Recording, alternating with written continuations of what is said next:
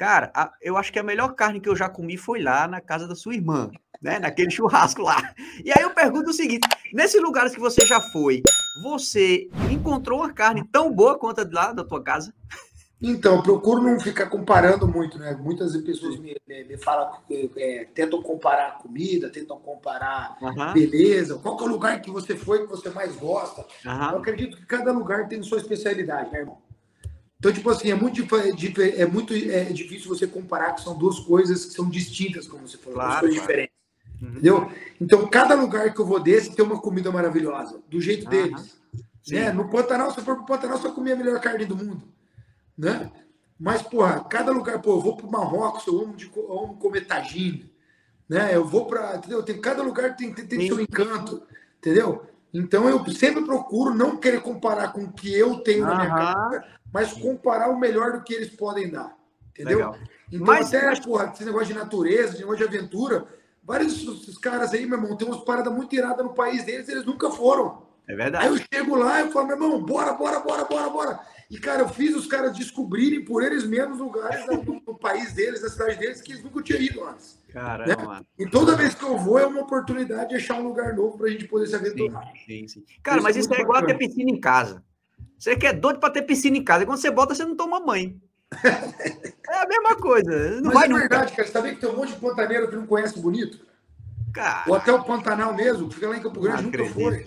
Pô, tem muito cara que, pô, que, que mora lá no Egito nunca foi para as pirâmides. Uhum.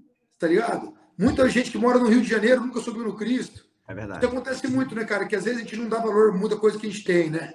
Sim. Que a gente sabe que a gente pode ter a qualquer momento, a gente tem acesso a qualquer momento. A gente acaba nunca desfrutando daquelas coisas tão especiais que estão ali available pra gente, né? Que estão ali é disponíveis é pra gente. É, então, isso eu tento passar pra galera também, sabe? Que, pô, Cada lugar tem seu, tem, tem, tem, seu tesouro, pô. A gente tem só querer buscar, né? Descobrir. Ter a disposição para querer buscar, só isso. Isso aí. Agora, eu sei que você come de tudo. Come de tudo. Eu acho que você nem faz muita dieta, assim, não. É? Pelo que eu sei, você come de tudo.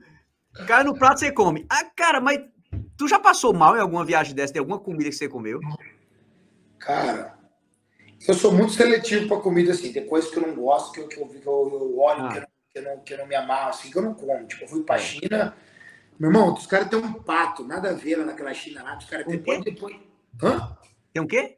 É um pato, que é quase ah. o inteiro, assim, que os caras pegam é. põem no do prato, a coisa mais horrível do mundo. Putz. Caramba, não tem. Tem uns pratos que não dá, não dá pra encarar.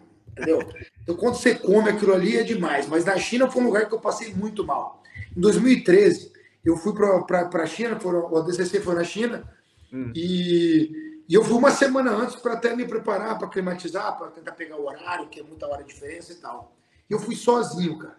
Quando você chega na China, meu irmão, ninguém fala inglês. Se eu passei um perrengue no hotel, nem no hotel que eu tava, ninguém falava inglês. Como é que você faz se comunicar? Parece que é outro mundo, parece que tá em Marte. Uhum.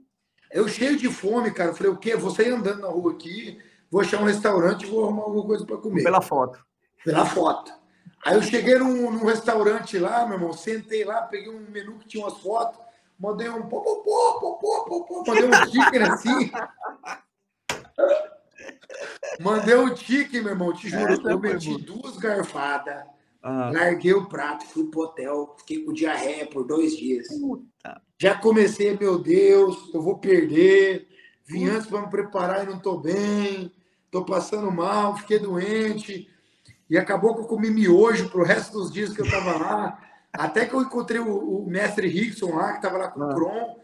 e, porra, me salvou a vida. Eu fiquei cinco dias colado no Rickson, até que foi uma puta de uma experiência de vida que eu tive, né, cara? Que eu, de poder estar perto do Rickson pela primeira vez ali, ouvir muito dele, ouvir todas as histórias dele. Então, tipo assim, foi uma benção para mim, eu acredito, que me ajudou até na performance de, de estar lá, né? De poder absorver Sim. e sugar uhum. de um mestre como o Rickson ali, do mindset, das histórias dele.